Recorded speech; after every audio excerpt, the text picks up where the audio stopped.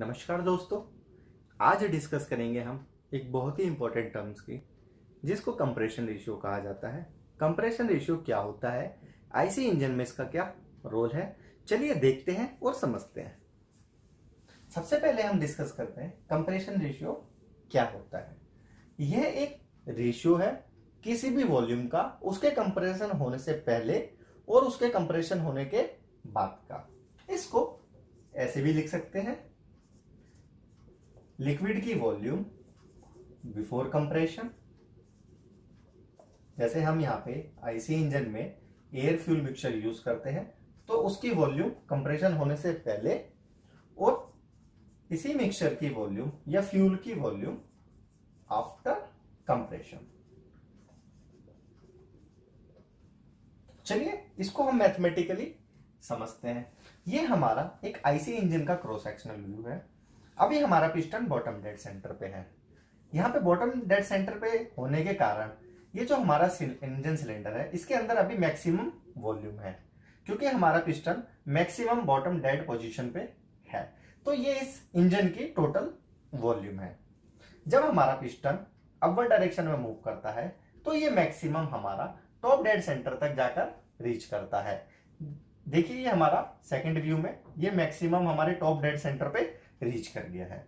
तो ये जो अब वॉल्यूम बची है सिलेंडर हेड और टॉप डेड सेंटर के बीच में, इसको क्लियरेंस वॉल्यूम कहा जाता है। और जो वॉल्यूम जो हमारे पिस्टन ने स्वेप्ट करी है, यानी डिस्प्लेस की है टॉप डेड सेंटर से बॉटम डेड सेंटर तक, उसको हम स्वेप्ट वॉल्यूम कहते हैं। इसको हम कुछ इस तरह लिख सकते हैं। बात करते हैं अगर हम टोटल वॉल्यूम की। टोटल वॉल्यूम ये होती है हमारी जैसा भी हमने डिस्कस किया वीसी प्लस वीएस यानी क्लियरेंस वॉल्यूम और स्वेप्ट वॉल्यूम अगर आप जोड़ दें तो आपकी टोटल वॉल्यूम निकल जाएगी। बात करते हैं क्लियरेंस वॉल्यूम की, कि क्लियरेंस वॉल्यूम क्या होती है? क्लियरेंस वॉल्यूम जिसे वीसीबी कहा जाता है। यह हमारी, जब पिस्टन हमारा टॉप डेड सेंटर पे पहुँचता है, और जब हमारे सिलेंडर हेड के बीच में जो मैक्सिमम वॉल्यूम बचती है, उसको हम क्लियरेंस वॉल्यूम कहते हैं। यानी ये हमारी वॉल्यूम है between top dead centre and cylinder head. Cylinder head और टॉप डेड सेंटर जब पिस्टन पहुँचता है, उसके बीच की जो वॉल्यूम होती है, उसे क्लियरेंस वॉल्यूम कहते हैं। तीसरा हम बात करते हैं स्वेप्ट वॉल्यूम की। स्वेप्ट वॉल्यूम, जिसको हम डिस्प्लेसमेंट वॉल्यूम भी कहते हैं।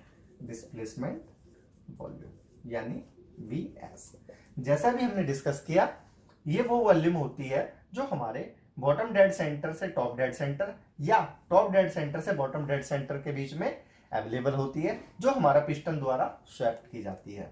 यानी ये हमारी वॉल्यूम है between top dead centre and bottom dead centre यह हमारे तीन टर्म्स बहुत इंपॉर्टेंट है। कंप्रेशन रेशियो को समझने के लिए।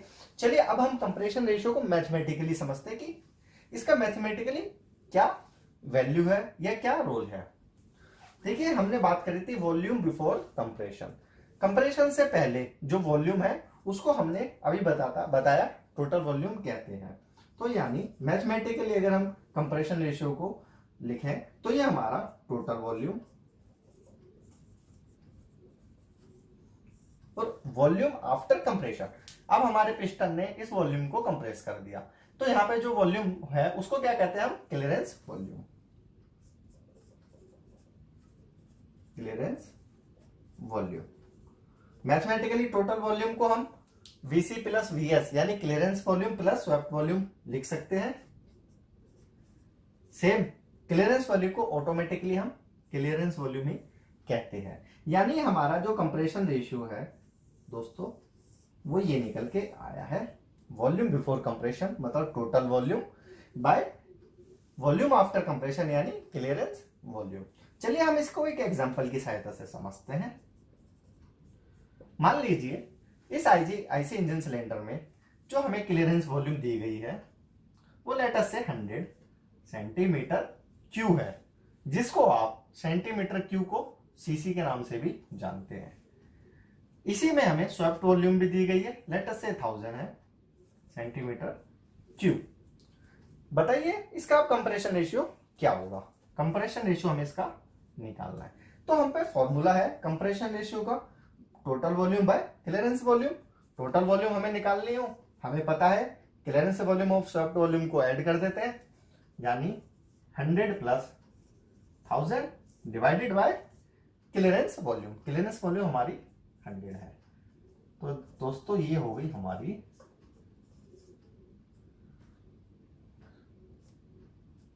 ये हो गया दोस्तों, इलेवन रेशियो वन यानी उस इंजन सिलेंडर का जो कंप्रेशन रेशियो है, वो इलेवन रेशियो वन आएगा। यानी कि टोटल वॉल्यूम के अगर हम ग्यारह पार्ट कर दें तो वो इलेवन पार्ट तक उसको कंप्रेस करता है। उस इंजन का कंप्रेशन रेशियो हमारा इलेवन रेशियो वन आएगा। इसकी यूनिट नहीं है। तो अब बात करते हैं हम कंप्रेशन रेशियो के बहुत इंपॉर्टेंट कुछ की पॉइंट की, जो कॉम्पिटिटिव एग्ज़ाम में जनरली पूछे जाते हैं। चलिए डिस्कस करते हैं।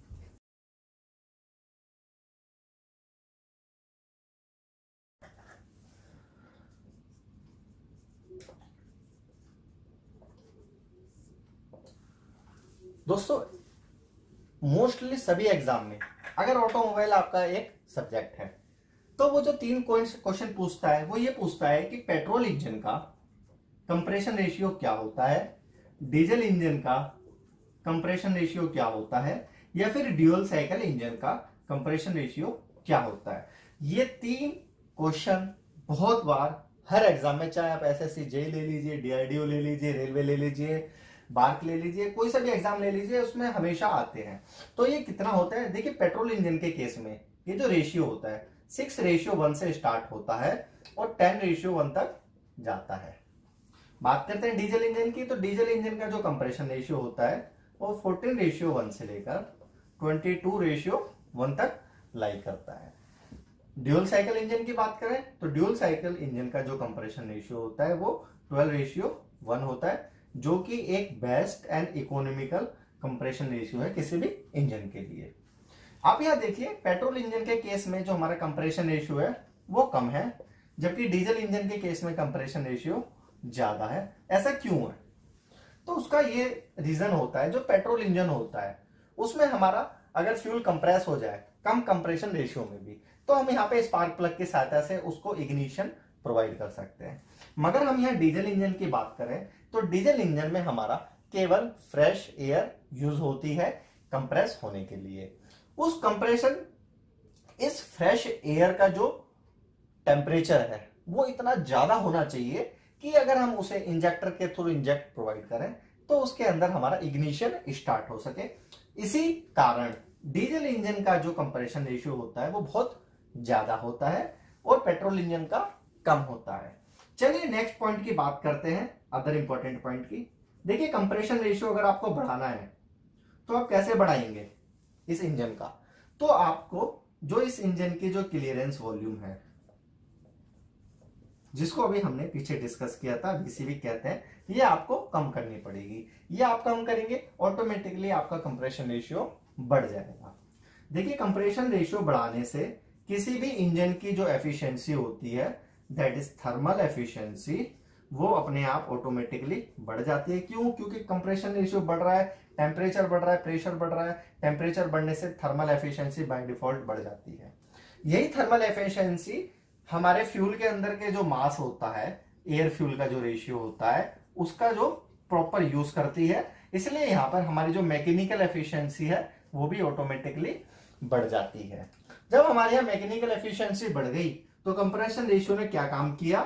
यहाँ पे इस इंजन का जो हॉर्स पावर था, जो हम इसकी इंजन की पावर डेवलप करते हैं, जिसको हॉर्स पावर भी कहते हैं, वो बढ़ जाती है। मगर इसका कुछ नुकसान भी होते हैं। जैसे अगर हम कंप्रेशन रेशियो को बढ़ाएँ तो क्या होगा? इसके अंदर हमारी नोकिंग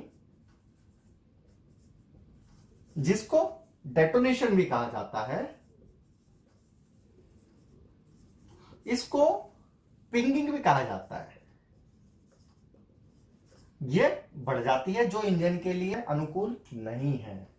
तो कंप्रेशन रेशियो बढ़ाने से उसमें नॉकिंग भी बढ़ती है, डेटोनेशन भी बढ़ता है, पिंगिंग भी बढ़ती है, ये तीनों एक ही वर्ड है। अब इसको आपको कम करना है। नॉकिंग को कम करना है, डेटोनेशन को कम करना है, पिंगिंग को कम करना है। तो आप कैसे करोगे? इसके अंदर आप हाई ऑक्टेन नंबर का पेट्रोल इंजन के केस में, क्योंकि पेट्रोल में हम ऑक्टेन नंबर यूज़ करते हैं और डीजल के केस में सीटेन नंबर यूज़ करते हैं। तो आपको हाई ऑक्टेन नंबर या हाई सीटेन नंबर का फ्यूल यूज़ करना होगा इस नॉकिंग को डिटोनेशन को या पिंगिंग को अवॉइड करने के लिए। तो ये सारे आप पॉइंट आप देख रहे हैं। ये सारे हमारे बहुत इंपॉर्टेंट पॉइंट है। किसी भी एग्ज़ाम की दृष्टि से। एक लास्ट पॉइंट को डिस्कस करते हैं कंप्रेशन रेशियो क्या सिग्निफाई करता है? हम इसको क्यों पढ़ रहे हैं? तो कंप्रेशन रेशियो ये सिग्निफाई करता है, जो हमारा यहाँ पे फ्यूल है, जो हमारे यहाँ पे एयर फ्यूल का रेशियो है पेट्रोल इंजन के केस में, वो क्या हो? प्रॉपर बन हो कंप्लीट बन। हो यानी यहाँ पे कंप्लीशन कैसा होना चाहिए एकदम? कंप्लीट होना चाहिए विदाउट नोकिंग या डेटोनेशन तो ये हमारा सिग्निफिकेंट है। इसलिए हम इसको ज़्यादा बढ़ा भी नहीं सकते और ज़्यादा कम भी नहीं कर सकते। तो ये था दोस्तों कंप्रेशन रेशियो के बारे में। Thank you for watching